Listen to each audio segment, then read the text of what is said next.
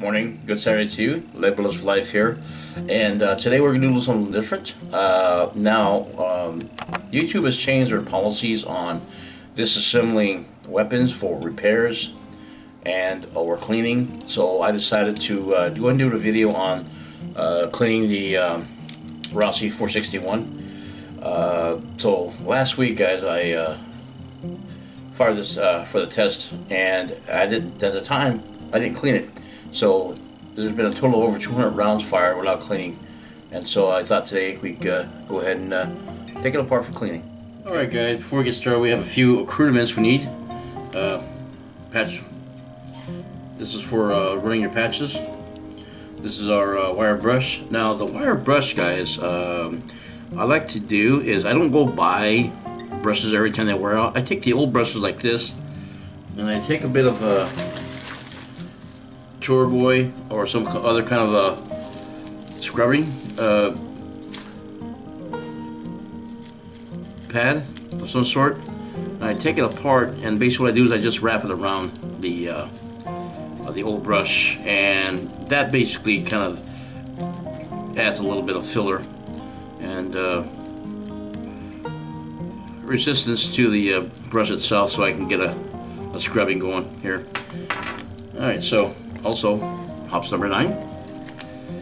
Now, this is a chiseler, a chisel, and what I did is I put a little piece of tape on it, and uh, I'm going to show you what this is for. Alright, let's go ahead and disassemble. Alright, so with this one here, uh, all I do is I untwist the uh, push rod, ejector rod, and remove it.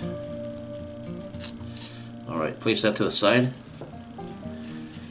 And then I take this here. Also, also don't forget the uh, the star extractor will fall out and uh, your spring. So make sure those are together. All right. So what you're going to do is you're going to take the cylinder off. You don't have to do it, but I do it this way. And the reason why I do it is because it's easy to remove. So what you do, you take a, something like this. Even a flat screwdriver will work too. Put a little tape on it so you don't mar the uh, cylinder. And basically what you do is you just put it under the, the, the crane here, just push it down. And voila, cylinder comes right out. So inside your cylinder you're going to have the um, recoil, the, the recoil spring. And put that aside and you're going to have a washer here, or the bearing washer. Okay, don't lose that. That's very important. And from here you can start cleaning out your uh, internals. Alright, take the little Hoppe's number 9 here. We're going to start scrubbing out the uh, internals. You don't have to soak it, just you know, get a little bit on there. You can solve a towel like this one here. And just scrub along like so. Make sure you're wearing gloves, you know. Cleaning solutions aren't something you want to get in your mouth. Alright, just let it soak for a while. And what's great, guys, about using um, powder coated bullets is I don't have any leading uh, in the forcing cone area. So it's easy to scrub out and clean. Alright, so let that sit there for a little bit and then we'll go ahead and start on a cylinder. Same thing for a cylinder. Soak it up a little bit. Use a soft toothbrush and this will soak up some of the carbon off the uh, cylinder on the insides as well. And taking off the cylinder just makes it a lot easier to clean. There we go. Alright. You can use any kind of cloth you want. Uh, paper towels, I, I, like to use paper towels a lot. Uh, they seem to work better for me. Wipe it down a little bit, get some of that carbon off there. Alright. And it does a pretty good job, as you see. Really good job. See, it's starting to shine up already a little bit. Alright. Put these tools aside now And we'll let that soak for a minute. Okay, so let's start on the barrel. Uh, since you can't uh, clean the barrel from the rear, you have to do it from the front, but you gotta be very careful not to destroy your crown. So make sure you keep your, uh, your crown uh, protected. And you just slowly go inside. There you go. And you don't have to go too far, especially for a snub nose, guys. It's it's a short barrel. Just like keep your finger here and make sure the rod doesn't uh, scrape up the uh, uh, the crown. Okay, That's uh, very important for accuracy. And uh, guys, with the powder coating, you know, it's it's not like you're getting a lot of leading down there at all, or zero leading, but you're going to get uh, powder coat residue and gunpowder. Okay, run a patch through there. There's some paper towels, that'll work too. Nothing too fancy, you know. Same thing for the uh, rod, just slowly, be careful. And we're going to start on a cylinder. Same thing with a cylinder. Uh, I usually go from the inside out. And looks like I can use some extra trolling oil in there. Just push down in there. There we go. That works better. Much better. Okay, for the cylinders, you know, I have a, uh, small, like a 30 caliber, uh, like a mop brush here, and I just put the uh, the paper towel over it, like so, and it makes it easier to go in and out of the cylinders see, without any kind of uh, issue. Alright.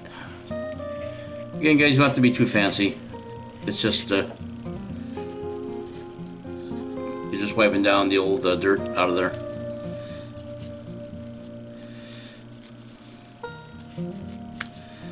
Alright. Let's take a look.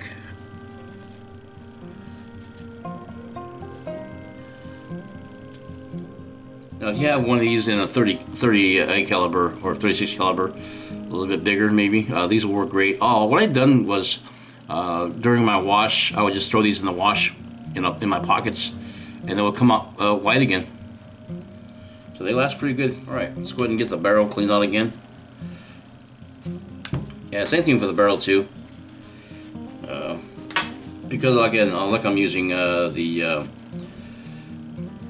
powder coat, it doesn't really dirty up the gun too much. You're just getting a lot of carbon residue from the burnt gunpowder,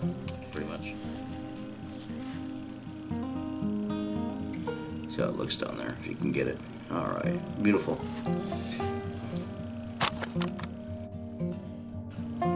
Alright guys, so uh, also I want to give a shout out to uh, Walter Bunning. Uh, take a look at his videos guys, he's uh, got a good channel. And um, he asked me in a comment, well, actually he saw a video of mine on the 380 uh, Firestorm. He, I think he believed, I believe he saw two of my videos, and he made a little comments on the um, uh, the 102 grain Lee bullet that I used, and uh, it got him inspired to start loading for the 380, and he was very interested in getting a, a Firestorm. Uh, so, uh, Mr. Bunning, uh, thank you for your comments, and I subscribe to you, of course, and so this is for you. Alright guys, time to reassemble. Alright, so we're going to place our bearing washer onto the the yoke there this here will go on this end here and place your cylinder in like so and just snap it guys that's it done deal Alright.